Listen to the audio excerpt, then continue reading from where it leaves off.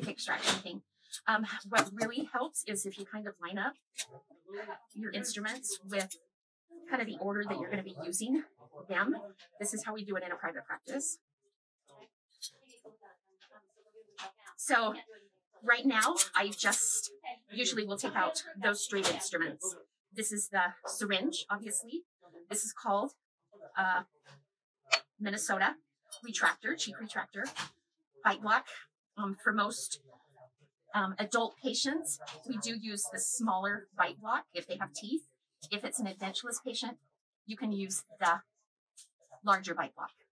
And then the surgical suction obviously goes into your suction. So to get started, these are all pretty self-explanatory. Blade handle, periosteal elevator that starts to, after you've got the patient numb, you always put in a throat pack. I do not have four by fours out here, but four by fours or four by four gauze are always part of your surgical setup. We never use two by twos back here in oral surgery, nor do we use a short yellow needle. It's always the long blue that we use.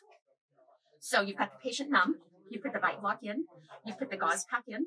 Then if you have to have a flap, you've got your blade handle and a 15, 15 blade.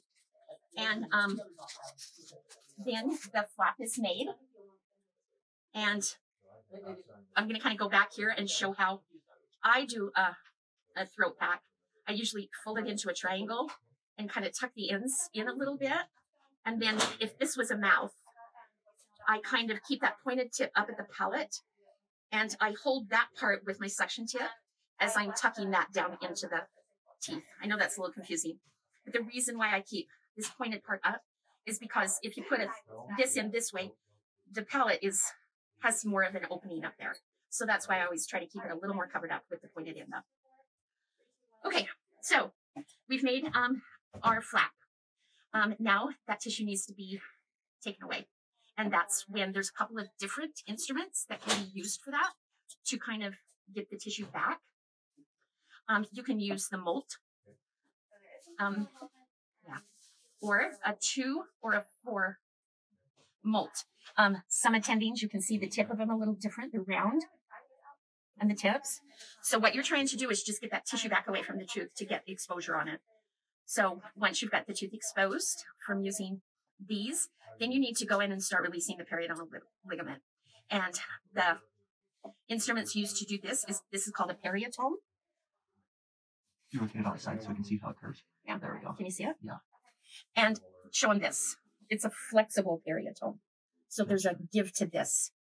And so this starts, you start putting this into the tooth, you know, straight up and go around and just work it around like this. At first, you're not going to be able to get it very far, but just keep working around the tooth. And then, you know, each time you're getting it down a little bit farther to release the periodontal ligament. So sometimes then you can go in and this is called um, a luxator.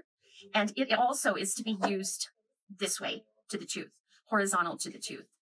And so you can put this down in that space and also use it the same as the periotome. It's just a little sturdier and you can get down a little bit farther to just work around and try to release that tooth. Now, after you've done that, then we have a couple of straight instruments that are called, you know, the straight elevators. And there's a small and a large. And then this one is curved. One? Mm-hmm.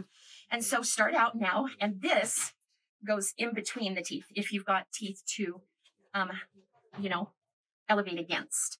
But you never want to do it up high, especially if you've got a crown on a tooth, on the extraction tooth or the adjacent teeth, because that will loosen it. So you always want to try to get as low down as you can to start elevating. And, you know, this is how you use the elevator.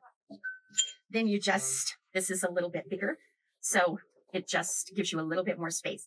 So you should start seeing some pretty good movement at this point in time on a tooth if you're doing all the steps correctly.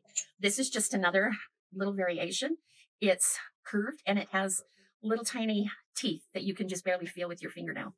And so I don't even think it'll pick up on there. Mm. But there's just little tiny serrations that sometimes just give you that extra little oomph to be able to um, elevate that teeth out. Now, once you've got pretty good movement, now you're ready for a forcep. And I'm just going to kind of roll these over so we can get the different forceps out here.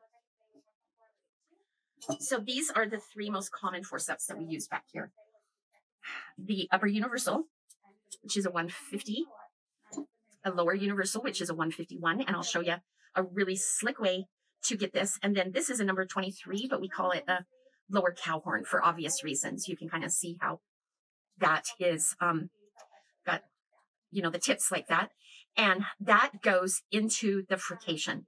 This is a lower molar um, forcep, and this goes into, you get that into the furcation, buccal and lingually. And then as, you know, you kind of start out sometimes like this. And then as you slowly put more pressure and kind of back and forth with it to really get those, the beak into the furcation farther and farther, this will actually help lift the tooth out as it gets closer together.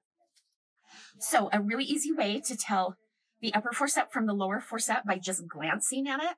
And this is very kindergarten, but it's never failed me. So the upper forcep is more flat on the top. The lower forcep has more of an angle on it. So I just think of like an L, you know, so that angle is lower. So when it's sitting there, when you see that, it's like, okay, that's the lower one. So you just don't even have to think about it. You can just grab lower, lower universal or lower cow horn for molars.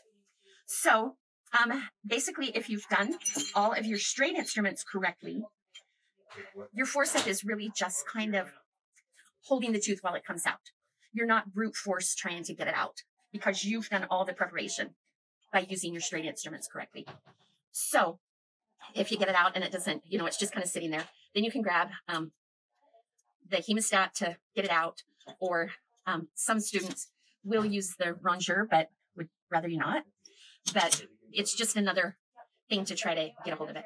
Now, if by chance you've done all the necessary steps and you've still had a crown break off from the roots, then you have to go in and usually use um, a handpiece to remove some bone. You always, so if you don't have a flap up to this point, then you always usually need to make a flap. So if it's just been a simple extraction that you just started out and um, you were just going along and then the crown broke off and now you have to use a handpiece, a flap has to get that tissue out of the way. So we usually have you start taking off um, buccal bone. You never go around to the lingual with your handpiece. It's buccal bone, a little to the distal, a little to the mesial. Um, just, you know, you don't just go diving down, minimal amount of bone. Then you can start sometimes by getting back in with your small elevator to maybe get some movement on it. Or we have these root picks that are right and left root pick. And so obviously, you know, depending on where you're at in the mouth, and this is very sharp pointed. And so it can kind of really get in there on those smaller spaces and kind of lift that tooth up. If it's an upper molar, just stop. If the roots have broken off, stop. And um, until you get a little more experience behind you, just come and get an attending because upper molars can end up in this upper molar root tips can end up in the sinus very, very easily if you don't know what you're doing. So that's why we really just stop if it's not just a routine, simple extraction that you've been able to get out. But if the root has kind of came apart from the crown, just stop and get some help at this point in time. Okay, so now we've got the tooth out and everything's cleaned up very nicely. You use your curette, double-ended curette. To clean everything out very nicely, we will have you irrigate out the socket with some chlorhexidine and just a monojet syringe, and we'll give you that. And so now you're ready to start to suture. And I'm just going to move these out of the way so you can kind of see. Oh, back up. Before you suture, you kind of go in there, and the very best way to find out if you've got sharp edges or anything is to use your gloved finger. Go in and really go around that socket. If there's any little sharp edges or anything, it will catch your glove very easily. And um, we tell the students to kind of do it first, you know, with just bone on bone to kind of see how it feels. Then, um, if you've made a flap, kind of put your flap back in place and feel it with the tissue back in place. And so if you find a little sharp bone that's poking out, um, it's best to get that out at extraction time because everything will heal up better. So that's when you use, this is called a rongeur and it has an end cutting. It's, it's end cutting. So it's kind of like a glorified fingernail file. You know, it can just go in and get the very little ends of any of the socket sharp edges. And then this is called a bone file.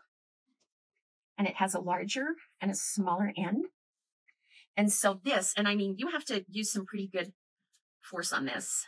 And so it, you just try to smooth out if you've used the rongeur. Sometimes you can just use this if it's just a little tiny um, spot sticking up. you do that, very good. Then feel again. Have your assistant feel. Sometimes, you know, your finger doesn't pick up everything.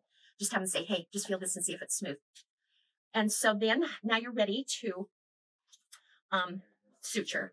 So here's the needle holder and um, the scissors for that. Some kids like to start out by using um, an Adson. It's just a little tissue forcep to kind of hold the tissue as they're, I don't have a needle on here, but it kind of just holds it as they can get the needle. The best thing you can do is come back and practice on the suture boards to try to get a little more, just become more adept at suturing because sometimes it takes some students as long to suture as it did for them to take out the tooth. And so that's something that the only way you can do it is just practice, practice, practice. You don't just start out knowing how to do it fast. We have plenty of things back here for you to work on. We have a video you can watch. And so um, after you've sutured, you've, you know, had the sutures trimmed, then you're ready for a gauze pack to put in the patient's mouth. And let me show you the easiest way. So you've got your four by four pack. I fold it into thirds. And what I'm trying to do is get as many layers for it to be absorbent. So if you put it in a patient's mouth and send them out, that's not as absorbent. Plus it's sticking out of their mouth. They hate it. They can't get, you know, good pressure on it. So I get it to this point. I use my air water, moisten it just a tiny bit. I don't want it saturated with water. And then I start rolling it up just like a nice little cotton roll. And you can see by doing this, how many more layers I'm getting in there that they can actually put in. And so number one, it's a smaller thing. When you go in there, when they bite down, it's a little bit taller. So it puts more pressure on automatically. And just because there's so many layers, it is just a better throw pack than just folding it up and sticking these big gauze things in like this. So that's it.